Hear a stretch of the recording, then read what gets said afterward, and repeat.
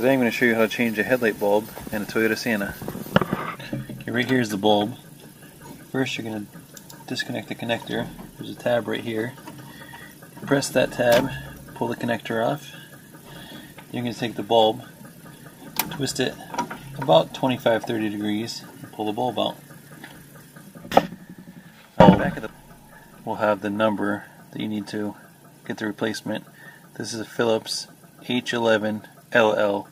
LL just means long life. So if you can find just the H11, you should be good. You're going to take the new bulb, insert it into the hole,